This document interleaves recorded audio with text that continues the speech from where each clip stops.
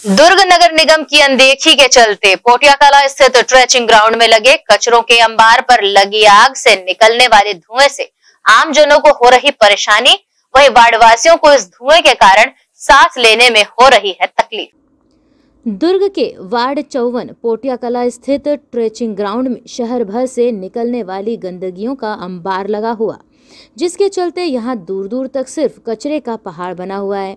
वहीं दुर्ग नगर निगम द्वारा इसके निष्पादन को लेकर निजी कंपनी को लगभग पाँच करोड़ अट्ठासी लाख का ठेका दिया गया है। गौरतलब है कि दुर्ग नगर निगम हाल ही में शहर को स्वच्छ व सुंदर और शहर से निकलने वाले कचरे के बेहतर प्रबंधन व निष्पादन के क्षेत्र में बेहतर काम करने वाले नगरीय निकाय का अवार्ड में अपना दूसरा स्थान प्राप्त किया है। वहीं धरातल में यहाँ सिर्फ़ कचरे से निकलने वाला धुआँ ही धुआँ नज़र आया।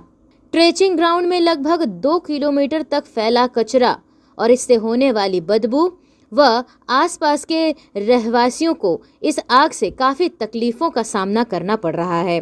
धुआँ इतना ज़्यादा निकलता है कि लोगों को सांस की बीमारी से जूझने की नौबत आ चुकी है।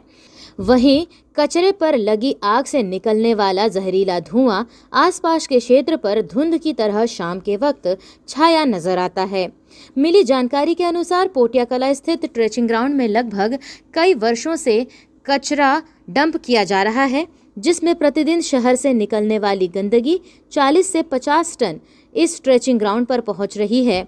इस संबंध में स्थानीय निवासी व भाजपा के नेता प्रतिपक्ष अजय वर्मा अपनी पीड़ा व्यक्त करते नज़र आए। सर कि यहाँ बहुत ज़्यादा बदबू है और धुआँ रात को बहुत ज़्यादा होता है जिसमें हम लोग को कूलर पंखा चलाने में तकलीफ़ है और उसके बाद बच्चे लोग को भी सांस लेने में तकलीफ़ है उसका तबीयत भी ख़राब हो जाते हैं और नगर निगम के लोग बोलते हैं कि यहाँ हटाने का आश्वासन दिया है लेकिन अभी तक काम जारी नहीं किया है।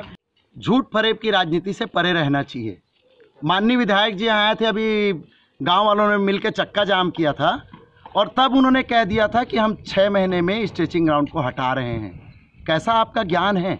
इसके लिए भूमि आवंटित नहीं है, इसके लिए जिला प्रशासन तैयार नहीं है और केवल और केवल आप लोगों को गुमराह करते हैं कि ये ट्रेचिंग ग्राउंड हटाया जाएगा।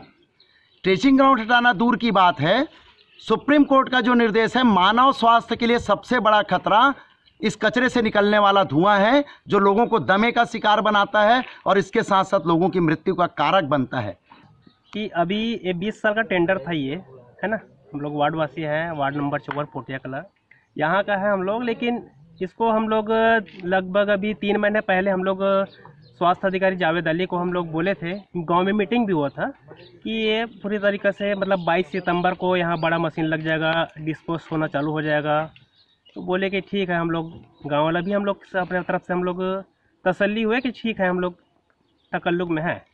आश्वासन दे रहे हो तो ठीक हो यहाँ तक की। लेकिन हम लोग को सिर्फ़ 22 सितंबर तक के मशीन लग जाएगा, बोले थे अभी तक के लगा नहीं है, कुछ काम जारी नहीं हुआ है और लगातार यहाँ आग लग रहा है। ग्रैंड एशियन न्यूज़ के लिए दुर्ग से नसीम फारूकी की रिपोर्ट।